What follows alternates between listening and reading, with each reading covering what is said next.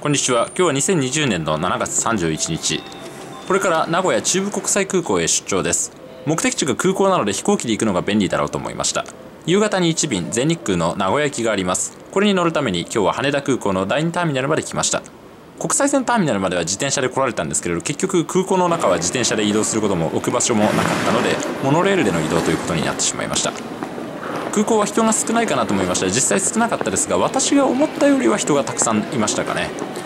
出発は18時です。ANA スイートチェックインというダイヤモンド会員の専用チェックインゲートなどもありますが、まあ、そんなものを使わなくてもどこもガラガラなのでまあいらないでしょうね。ラウンジも一応あるにはありましたが今回もまた時間が割と直前でしたし待合スペースなんかもう大量に余ってましたんで別にラウンジとかも使う必要ないんじゃないのかなと思います。下手するとラウンジの方が混んでたんじゃないかなと思いましたね。こんな時期にも航空機に乗らなければならないような人。大体上級会員の人が多いですから。ちなみに搭乗口は67番の A ということになっていました結構空港の端っこの方です。これはですねあのいろいろこういう風に次亜塩素酸殺菌水なのかな。空港の中いろんなところに置いてありました。でも全日空が用意しているものと羽田空港が用意しているものといくつかあって成分が違うようです。そろそろね除菌の成分とかを調べ出すマニアみたいなのが生まれるんじゃないかなと私は思ってますがどうでしょう?さて今回乗る飛行機ですがボーイング737小型飛行機。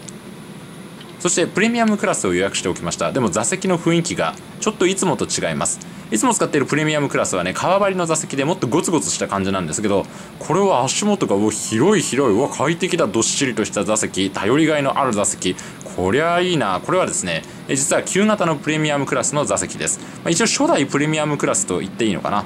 前の座席の肘掛けの裏のところを見るとこんな風に注意書きも書いてありますけれどここに書いてあるのもちょっと古めかしい感じがします。今回の機材ボーイング737の700番台というものです。国際線でも使われていて通常は国際線用として使われる、まあ、国際線機材というやつでございます。このボーイング737-700が国際線用。そして国内線ではボーイング737の800番台というものが使われています。ただこの700番台は国内線でも国際線でも使うみたいな風になっていてでこの座席が国際線ではビジネスクラス国内線ではプレミアムクラスとして使われるわけです。奥にボーイング737の800番台が映っていますね。多分そうでしょう。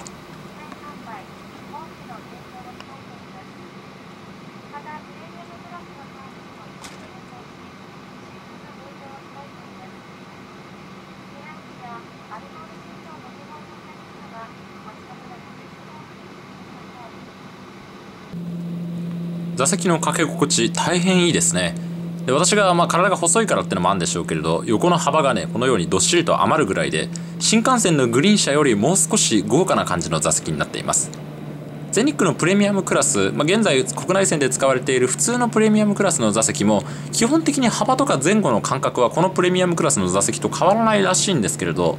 ただねそれ以上にものすごくしっかりと豪華で足元も広々しているようになぜか感じられますね。全日空の公式ホームページで見たら数字は同じだったんですけどね。ボーイング737の700番でも800番台でも。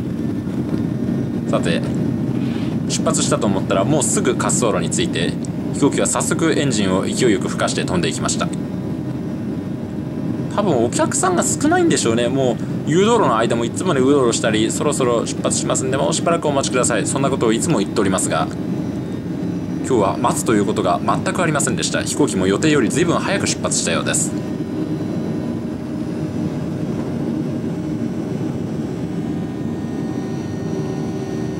すぐに羽田空港をピュッと飛び上がってしまって奥の方を見るとたくさん飛行機が並んでいます。海の上からでも見えましたけどね。なんともかわいそうな光景ですよ。せっかく飛ぶことができるのに飛ぶ意味がなくてあそこで余ってしまっているのです。ちょうど奥に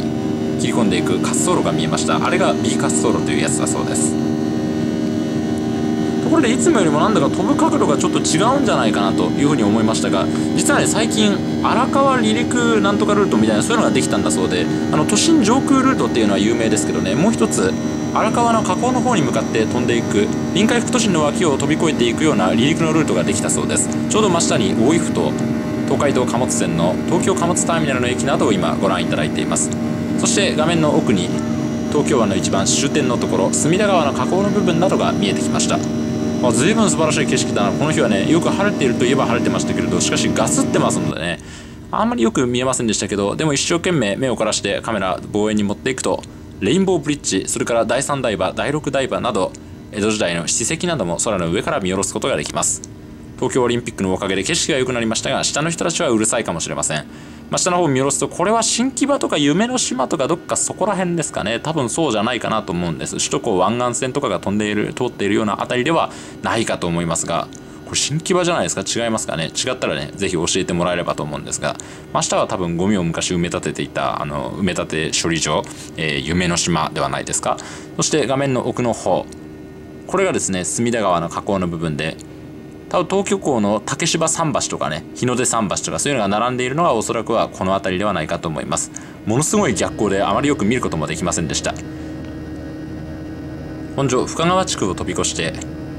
真下のこの東京スカイツリーがちょうど円の中心その周りをコンパスを描くようにしてぐるりと旋回します。素晴らしい景色ですね。そしてまあ、大昔の江戸時代の開発かもしくはその後の関東大震災の影響か分かりませんが縦横にピシッと整然とした区画を空の上から見下ろすのも面白いことです。隅田川に架かる数多くの橋を空の上から遊覧できます。スーツ旅行チャンネルで何度も皆さんに紹介した東京の名だたる橋の数々。浅草から河口の勝どき築地のところまでずらっと見渡すことができます。その奥が東京湾。今日は自転車で一生懸命羽田まで行ったんですけれど簡単に飛行機で飛び越してしまいました。真下に大きな鉄道の駅が見えます。これは上野駅です。右側に上野の山上野恩賜公園が並んでいます。東京国立科学博物館の屋根なども特徴的です。すぐお隣こちらはアメ横の照明がありますね、えー、こちらが御徒町。そして鉄道が十字に交差をするこちらが秋葉原。ここは神田です。そして日銀本店などが画面の左側にちょっと見えました。線路がずらっと並ぶここが東京駅です。右側の整然とした区画が丸の内そして皇居と続きます。これ面白いですね。もうちょっと天気のいい日だったらなお楽しいと思いましたが飛行機はすぐに雲の中に入ってしまいました、まあ、またいつか乗る機会があるでしょうからぜひね、これね、楽しんでみたいところです。これ見られるだけでもお金払う価値があるなと思いました。今回は結構安くてですね、名古屋までのプレミアムクラスで、えー、2万円ぐらいだったかな ?2 万1000円とかだったと思います。まあ時間が短いですけれど、しかしプレミアムクラスの中では安い方かと思います。上のモニターでは今、この飛行機、全日空がいかに清潔に保とうとしているかということを説明してくれています。社長自ら映像に出演されて、3分に1回の速さで速やかに高性能なフィルターを用いて飛行機の中の空気は入れ替わっています。皆さんにこれからも安全そして今よりも安心な空の旅をお届けしますということを社長からの言葉がかけられていました、まあ、空の上では、ね、飛行機も随分皆さん落ち着いていて特に必要がなければ動き回ったりとかお控えください。確かそういうアナウンスもあったんじゃなかったかな。だからいつもよりものんびりと時間が流れていたような気もしますが早速富士山が見えてきました。プレミアムクラスではね、お食事が出るわけですけど、あれ、富士山がもう見えてきて、もう静岡のこんな山梨とかまで来てて、これ大丈夫なのかなとりあえずここでお食事も出てきましたけどね。そして機長さんからの挨拶もありましたけど、あ、ここ今からご飯食べて名古屋まで降りるのに間に合うかなとりあえずね、美味しそうなご飯です。写真だけはしっかり撮っとこうと思いまして、えー、撮らせていただきましたが、あんまりのんびりしてると食べきれなくなっちゃいますからね、美味しそうな今日の夕飯。まあ、プレミアムクラスね、時間によって出てくるご飯違いますんで、昼かね、えー、もしくは夜のご飯の出てくる時間に乗った方がいいと思いますよ。食べ物豪華になりますから。ただどんどん飛んできて、もうこれ多分ね、中央アルプス、あの、赤石山脈、あの、基礎とかその辺なんじゃないかなと思うんですけど、だからもう急いで食べなければいけません。まだ全然食べてませんけどね。慌ててもなんか20分ぐらい一応食べる時間はね、あの、あるということをキャビンアテンダントの方からあのお聞きしたんですけれども、座席の座り心地がもういいからね、これリクライニングしたりとか試したかったんですが、とりあえず全部食べちゃおうと思いまして、この座席でも本当に座り心地よかったですね。普通のプレミアムクラスとね、幅とかは、まあ数値上はさっき言ったように変わらないらしいんですが、それにしては良かった。あの、布張りと革張りでね、あの、今のプレミアムクラスの座席は、基本的に、えー、革張りのやつが多いんですけども、まあ、革張りの座席より布張りの方が私個人的には好きなんで、それがイメージに影響してるのかな。あとはやっぱり国際線のビジネスクラスに使うということもあって、こっちの方が作るのにもしかしたらお金をかけているのかもしれません。わかりませんけどね。あの、カーバリの座席もね、高級感はあるんですけど、あと掃除が楽だっていうんでね、あの、採用しているという場合もあるそうです。実際、あの、汚れづらいんで、その点はメリットかと思います。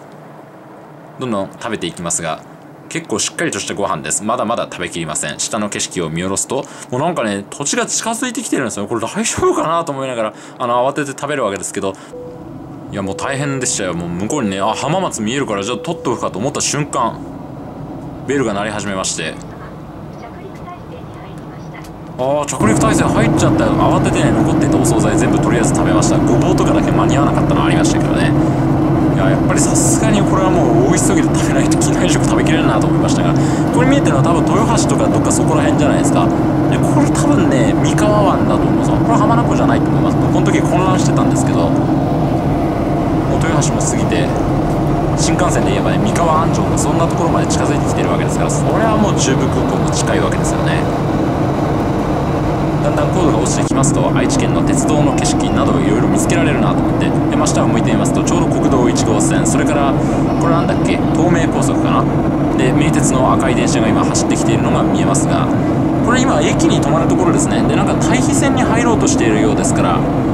これは対比線に入るということは後から特急がなんかが追い上げてくるんだろうと思ってですねその線路を豊橋方面にたどりました。でもなかなか優等列車らしきものは私の目には見つからなかったんですけど見落としてたのかもしれませんけどね。ずっとたどっていくとど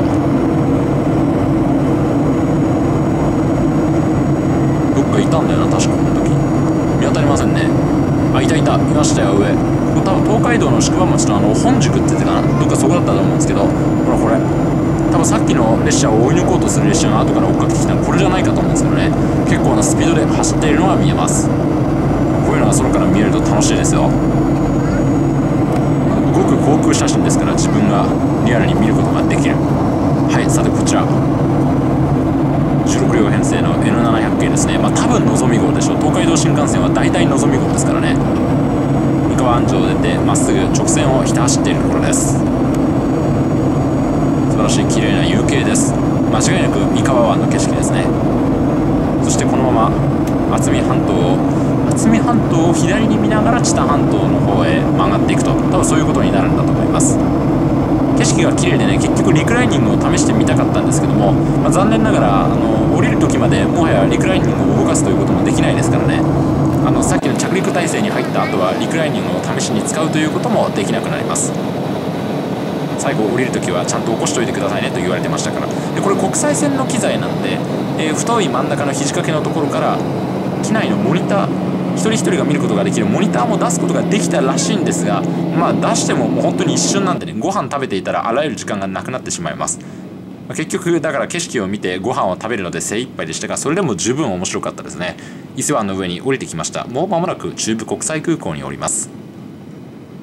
今回の座席なんですけど実はね全日空がプレミアムクラスを最初に始めた時にそのプレミアムクラスという座席はこれですよと広告を出したその一番最初の広告宣伝で使われた座席でもあります。ただこれがちょっと問題もあってですねこんなこと言って全日空に怒られない多分大丈夫だと思うんですけどあのその時全日空がねあの公正取引委員会かなんかからあのこれダメですよって言ってあのこの広告出さないでくださいというふうにあの言われたそうですね。で不適切な広告ということになってしまった。それはなぜかというとあのその広告を出した時にね今私が座っているビジネスクラスと共用の、えー、この快適なプレミアムクラスの座席がまだ出ていなかったからなのだそうです。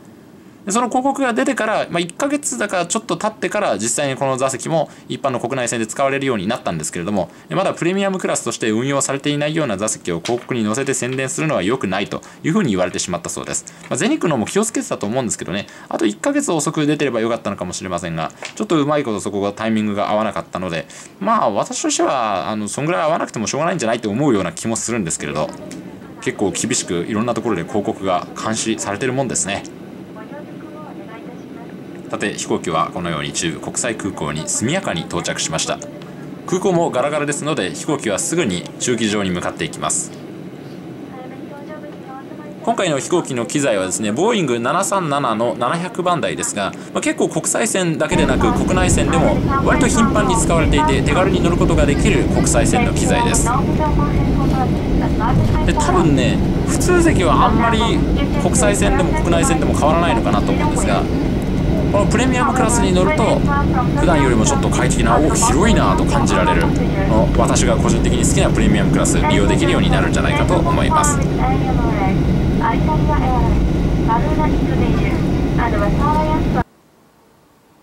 これがその最後に私が降りる時撮影したプレミアムクラスの座席ですけども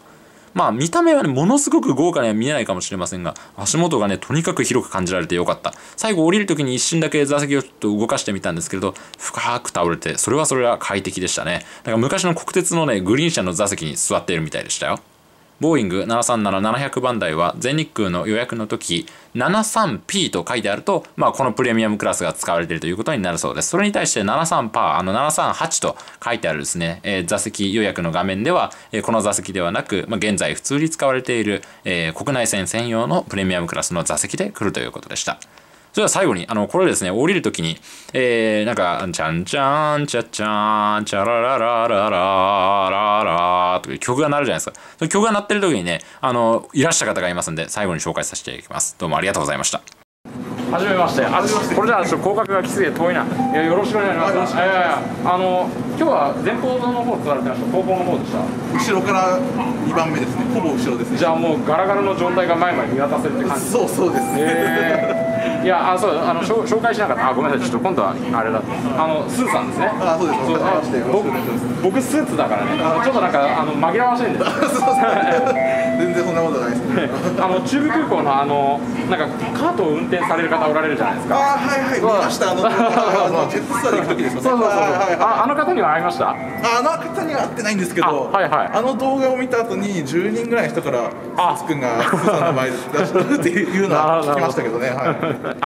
じゃあ今回なんでそもそも中部空港に来たのかと言いますと、はい、明日ですね、はい、あのエアアジアジャパンさんの、えー、福岡便が、えー、いよいよ就航ということで、はい、あのすごい早い時間ですけどもうお泊まりですか空港に？もう今日泊まらないと無理です、ね、いやですよね、はい、えー、というわけで僕もあのこれからホテル探してね泊まるんですけども。これから探すんですいやそうそうそう。まあどうせいっぱい空いてるだろうと思うんですよはい、でもすごい空いてますね空港ね。びっくりしました。やばいですね。悲しいですよ私は。ずっとセントリアでやってるんで。はいはいですよね、はい、いやあのなかなか見ない光景だなとは思ってきてるんですけどあの前に僕がねここにあの泊まった時の映像を見てくださったって話じゃないですかあ見ましたよ。そうなんかあの時の方がまだ人気がありましたもんね。そりゃそうですよね。国際線も全然ありましたからね深夜のやつも、うん、そうそう。ちょっとごめんなさい。なんか暗い話ばっかりなし申し訳ないですけど、うん、でもまあともかく明日の食品はあのそれにぎわうんじゃないかと思いますんで。あそうですね。いい映像作りましたちなみにエアアジア乗ったことありますか、エアアジアはないです。中部空港からの便しかないですよね。あそうなんですね。そうそうそうなんですよ。じゃあちょっといろいろ普段違ったりするところもあったりするといやそうそうそうそれもね面白いと思いますよ。本当ですか？あの、はい、楽しみにしてるところですちょうど。あはい。じゃあぜひまた明日。よろしくお願いします。明日よろしくお願いします、はい、ありがとうございます。皆さんご視聴ありがとうございました。じゃあさよなら